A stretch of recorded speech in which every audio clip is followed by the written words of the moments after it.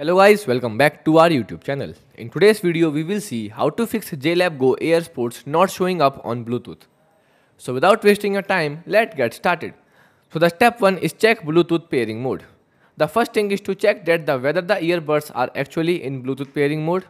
So when you take the earbuds out from the charging case, one of them should be blink blue and white, indicates it's ready to pair. You will see on my screen. I hope you will see that this one is blink white blue and this one is blink solid sorry this one is solid blue. It means that the both the earbuds are ready to pair. If neither earbud is blink try the following steps. Place the earbuds back in the case and then close the lid. Okay?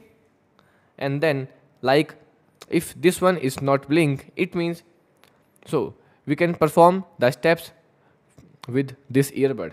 After that you can simple quick tap 7 times on it until you will see here a 4 times blue lights blink. It means that the, this one, this earbud is successfully reset. And then take the Bluetooth out from the case and then you will again see that this one is working properly. Okay. Step 2. Forget and reconnect the earbud. So, you can simple if the earbuds are pairing mode but still not showing up, try forgetting the device on your Bluetooth enabled device and reconnecting.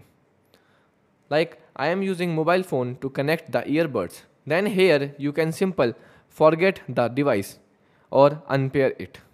Okay. After unpairing select take the earbuds out of the before place the earbuds in the case and then close the box okay? After that you can simple again open the ear earbud case and take the earbud out of the case. They should now be in a pairing mode and ready to connect. You will see under it both the earbuds now is working correctly and the lights are blink. Okay? And then select the JLab Go Air Sports and then click on it. And then they will ask for pair. Then click on pair and now you will see they are successfully connected okay? So step 3 is check for any interference. Another potential issue could be interfere from other nearby bluetooth device or wireless signals. Try moving your earbuds and connecting device away from the following things like other bluetooth device wireless router microwaves and metal objects that can interfere with the connection with the bluetooth device and the earbud so if you tried all the above steps and earbuds still are not showing up your Bluetooth device, it's time to reach out the JLab customer support for further assistance.